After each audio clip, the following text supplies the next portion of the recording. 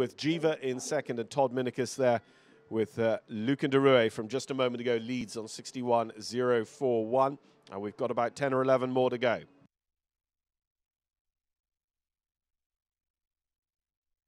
Kevin Babington, yesterday's international winner. The Zone and Katz Nelson jumpers 0077 by Mr. Blue.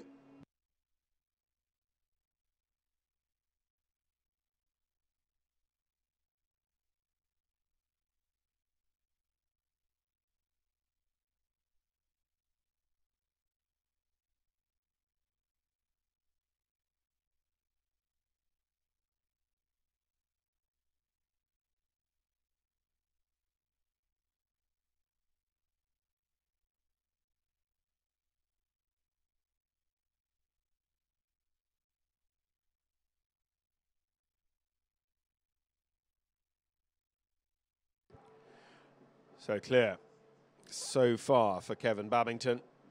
Oh, unfortunately, he just takes the inside line there, gets in a little bit underneath the vertical. So it's four faults and four faults and Frayed is nowhere in this winning round competition on meter 40 open jumper class today at Split Rock.